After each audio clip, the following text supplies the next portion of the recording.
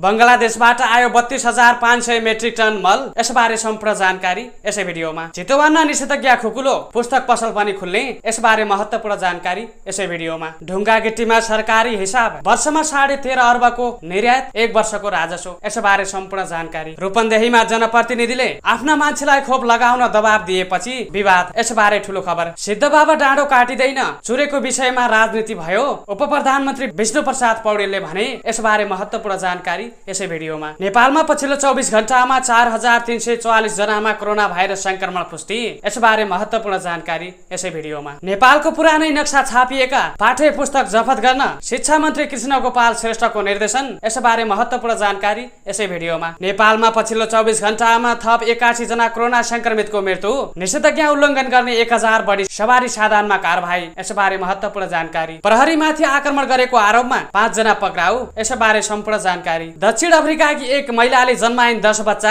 यसबारे सम्पूर्ण जानकारी यसै भिडियोमा। अफगानिस्तानमा बम डिस्पोजल टोलीमाथि तालिबानीको आक्रमण दस जनाको मृत्यु। यसबारे सम्पूर्ण जानकारी यसै भिडियोमा। संसद विघटन मुद्दामा बहसका लागि पन्ध्र घण्टाको समय निर्धारण एमिकस क्युरी झिकाउन आदेश। यसबारे महत्वपूर्ण जानकारी यसै भिडियोमा। पहिचान गरिएका खानी क्षेत्रमा मात्र उत्खनन गर्ने सरकारको नीति अर्थमन्त्री पौडेलले भने। यसबारे सम्पूर्ण जानकारी यसै भिडियोमा। सविता भण्डारी र राउटे युवतीले न्याय पाउनुपर्ने भन्दै बालुवाटारमा प्रदर्शन भयो यस्तो झडप यसबारे सम्पूर्ण जानकारी यसै भिडियोमा। सविताको माइती भेट्न सन्तोष देउचा काठमाडौँ पुगे। बहिनीसँग ठोस कुराकानी। प्रहरी चौकी भित्रै खुकुरी प्रहार गरी असै घाइते बनाउने पाँचजना पक्राउ यसबारे सम्पूर्ण जानकारी यसै भिडियोमा। नमस्कार दर्शकबिन हार्दिक स्वागत छ तपाईँहरू सम्पूर्णलाई निराजन अनलाइन टिभीमा। अहिलेसम्म तपाईँले सब्सक्राइब गर्नु भएको छैन तपाईँ नयाँ हुनुहुन्छ भने हाम्रो च्यानललाई सब्सक्राइब गरी छेउमा रहेको बेलायकनलाई दबाई अलमा क्लिक गर्न नबिर्सनु होला आउनुहोस् अब सुरु गरौँ आजका मुख्य समाचारबाट।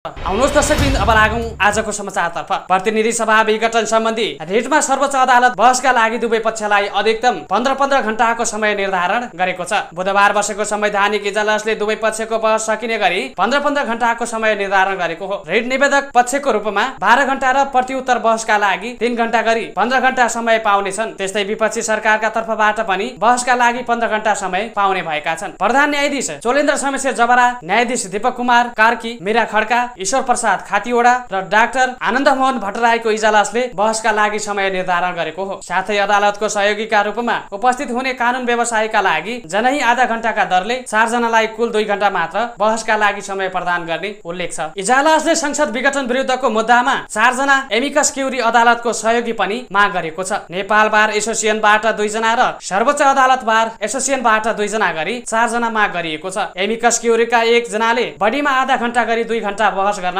पाउनेछन्। प्रधान न्यायाधीश जबराको नेतृत्वमा संवैधानिक इजलासले प्रत्यार्थी कानून व्यवसायी र सरकारी वकिललाई असार दस गते भित्र लिखित बहस नोट बुझाउनु पर्ने आदेश दिएको छ। दर्शकबिन्द अब लागौँ अर्को समाचारतर्फ। सुनसरीको धरान बसपार्क स्थित प्रहरी चौकीमा खुकुरी प्रहार गर्ने पाँच जनालाई प्रहरीले पक्राउ गरेको छ। प्रहरीमाथि खुकुरी प्रहार गर्ने तथा प्रहरी चौकी तोडफोड गर्ने पाँच जनालाई प्रहरीले पक्राउ गरेको हो। पक्राउ पर्नेमा चौबिस वर्षीय विक्रम राई सत्ताइस वर्षीय सिजन राई छब्बिस वर्षीय कालु भनिने सरोज लिम्बू तीस वर्षीय वसन्त राई र बत्तीस वर्षीय रेगन लिम्बू छन्। जिल्ला प्रहरी कार्यालय सुनसरीले दिएको जानकारी अनुसार तीनजनालाई अठार गते र दुईजनालाई सोमबार पक्राउ गरिएको हो। जेठ तेह्र गते धरान बस स्थित प्रहरी चौकीमा प्रवेश गरी केही युवाले खुकुरी प्रहार गर्नुका साथै प्रहरी चौकी तोडफोड गरेका थिए। आक्रमणबाट प्रहरी सहायक निरीक्षक असै समेत घाइते भएका थिए। साँझ धरान प्रहरी चौकीमा उजुरी दिन आएका एउटा समूहलाई अर्को समूहले खुकुरी प्रहार गर्न खोजेपछि रोक्न खोज्दा चौकी इन्चार्ज असै सुमन दाहाल घाइते भएका थिए। घाइते भएका थिए भने उनीहरूले नै चौकी नै तोडफोड गरेर फरार भएका थिए। पक्राउ परेका पाँचै पक्राउ परेका पाँचै जना विरुद्ध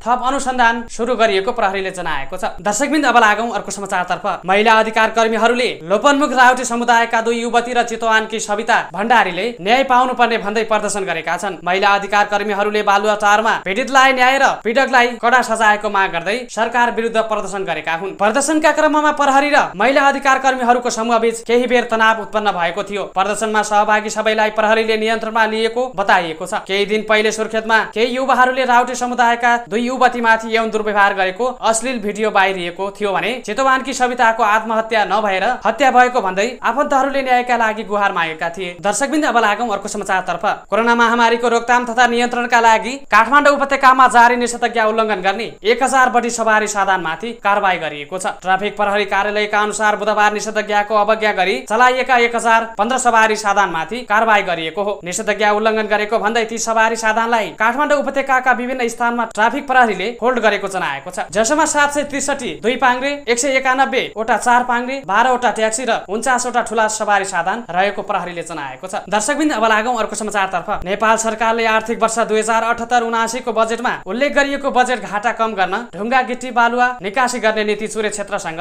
सम्बन्धित नभएको स्पष्ट पारेको छ। त्यसरी उत्खनन गरिएको ढुङ्गा गिटी र बालुवा खानी तथा भूगर्भ विभागले यसअघि पहिचान गरी चौध जिल्लाका बयानब्बे खानीबाट मात्र गरिने सरकारी पक्षले स्पष्ट पारेको हो। उप प्रधान एवं अर्थमन्त्री विष्णु प्रसाद पौडेलले बजेटको उक्त बुदामा चुरे उल्लेख नभए पनि चुरेका नाममा राजनीति गर्न खोजिएको बताउँदै यसले चुरेमा कुनै पनि हस्ताक्षेप नहुने स्पष्ट पारे। चुरे क्षेत्रको संरक्षणमा सरकारले कुनै सम्झौता नगर्ने प्रतिबद्धता व्यक्त गर्दै उनीहरूले भने बुदा नम्बर एक सय उनासौमा चुरेलाई जोड्ने राजनैतिक भएको छ। चुरेबाट एक डोको ढुङ्गा एक डोको माटो पनि उत्खनन हुँदैन। चुरे देशको महत्वपूर्ण सम्पदा हो। यसको संरक्षण प्रतिको चिन्ता भने स्वाभाविक हो। दर्शकबिन्द अब लागौँ अर्को समाचारतर्फ। अफगानिस्तानको उत्तरी क्षेत्रमा सडकमा राखिएको माइन बम हटाउने टोलीमाथि तालिबानीले गरेको आक्रमणमा दस जनाको मृत्यु भएको छ। प्रहरीले बुधबार दिएको जानकारी अनुसार बागलान प्रान्तमा बागलान प्रान्तमा आफ्नो शिविरमा बसिरहेको टोलीमाथि तालिबानीले आक्रमण गरेको हो। घटनामा अन्य चौध जना घाइते भएका छन्। प्रान्तीय प्रहरी प्रवक्ता जादेव बसरातका अनुसार तालिबानी लडाकुले उनीहरू सबैलाई एउटै कोठामा लगेर गोली हानेका हुन्। उनीहरू अफगानिस्तानको सबैभन्दा ठुलो बम डिस्पोजल गर्ने संस्था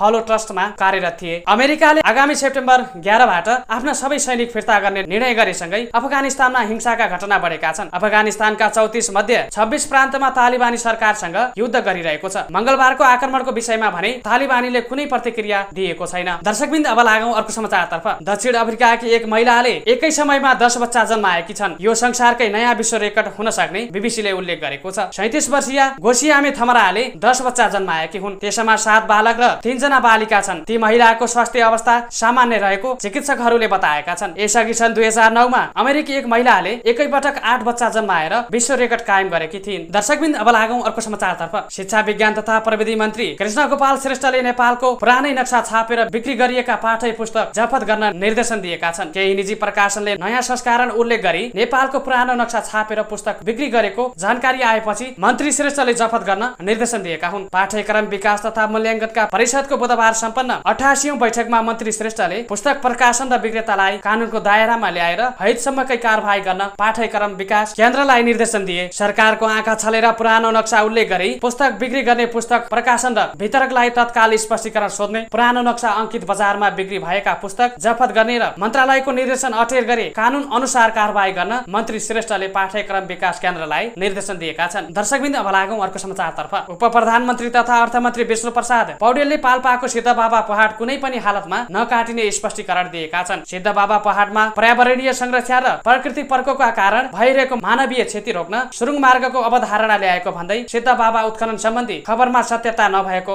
उनीहरूले बताए। बुधबार नेपालमा वातावरण पत्रकार समूहले ढुङ्गा गिटी बालुवाको निर्यात गर्ने नीति कति सजाए भन्ने विषयमा गरेको अन्तर्क्रियामा उप प्रधानमन्त्री पौडेलले सिद्ध बाबा डाँडो काटेर त्यहाँबाट सडक लैजानु पर्छ भनेर प्रस्ताव आएको भने स्वीकार गरे। सिद्ध बाबामा पहिरोको कारण वर्षेनी दर्जनौ मानिसले ज्यान गुमाएको भन्दै उनीहरूले भने डाँडो सम्याएर बाटो लगाऊ भन्ने प्रस्तावको सख्त विरोध गर्ने म हुँ। मेरै प्रस्तावमा सिद्ध बाबा काट्न लागि भनेर प्रचार गरिएको छ। पहाडको संरक्षण गर्दै यातायात सहज बनाउन आफ्नो पहलमा सिद्ध बाबा सुरुङ मार्ग निर्माण अगाडि बढेको उनीहरूले दावी गरे। बजेटको प्रबन्धन पनि गरेर मुलुककै आधुनिक सुरुङ मार्गको यो दोस्रो आयोजना बन्दैछ उप प्रधानमन्त्री पौडेलले भने। दर्शकबिन अब लागौँ अर्को समाचारतर्फ। जनप्रतिनिधिले मापदण्ड विपरीत आफ्ना मान्छेलाई खोप लगाउन दिएपछि रूपन्देहीमा कोरोना भाइरस विरुद्धको खोप अभियान केही ठाउँमा स्थगित गरिएको छ। जनप्रतिनिधिका आफन्त पार्टीका कार्यकर्तालाई खोप लगाउन दबाब दिएपछि विवाद हुँदा जिल्लाको तिलोक्तमा तिलोक्तमा नगरपालिका सिद्धार्थ नगर नगरपालिका ओमसतिया र मर्चबारी गाउँपालिकामा विवाद भएपछि खोप कार्यक्रम स्थगित भएको प्रमुख जिल्ला अधिकारी आसमान तामाङले बताए। दर्शकबिन्द अब लागौँ अर्को समाचारतर्फ। चितवनमा यो सातादेखि निषेधाज्ञामा केही खुकुलो बनाइएको छ। यसअघि खाद्य सामग्री पसल बिहान नौ बजेसम्म खोलेकोमा दस बजेसम्म पुर्याइएको छ। पाठ्य पुस्तकका पसल कृषिमल बिउ सम्बन्धी पसल पनि बिहान दस बजेसम्म खोल्न पाइने प्रमुख जिल्ला अधिकारी प्रेमलाल लामी छानेले जानकारी दिए। असार पहिलो हप्तादेखि शैक्षिक सत्र सुरु हुने भएकाले विद्यालयसम्म पुस्तक ढुवानीका लागि पुस्तक पसल पनि खोल्ने निर्णय गरेको उनीहरूले बताए। दर्शकबिन्द अब लागौँ अर्को समाचारतर्फ। बङ्गलादेशबाट खरिद गरिएको बत्तीस हजार पाँच सय मेट्रिक टन युरिया मल नेपाल आइपुगेको छ। सरकार र सरकार बीच जिटुजी मार्फत रासायनिक मल खरिद सम्झौता अनुसार कृषि सामग्री कम्पनी लिमिटेड प्रादेशिक कार्यालय वीरगंजमा सो परिमाणका युरिया मल आइपुगेको हो। जिटुजी सम्झौता अनुसार बङ्गलादेश सरकारले नेपाल सरकारलाई पचास हजार मेट्रिक टन युरिया युरिया मल उपलब्ध गराउनेछ। तीमध्ये बाँकी रहेको सत्र हजार पाँच सय मेट्रिक टन युरिया मल आउने क्रममा रहेको सो कार्यालयका प्रबन्धक गोरखनाथ केसीले बताए। बाँकी रहेको मल कोलकाता बन्दरगाहको बाटो गरी रेलमार्गबाट वीरगञ्जको सिर्सिया स्थित सुक्खा बन्दरगाह भन्सार कार्यालयमा आउनेछ। दर्शक महानुभाव तपाईँहरू हेर्दै गर्नुहोला। तपाईँहरूमा यस्तै भिडियो ल्याएर उपस्थित हुने नै छु। अहिलेलाई छोटिन्छु।